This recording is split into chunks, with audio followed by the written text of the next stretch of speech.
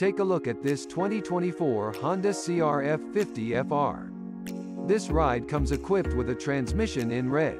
Come in and check it out today.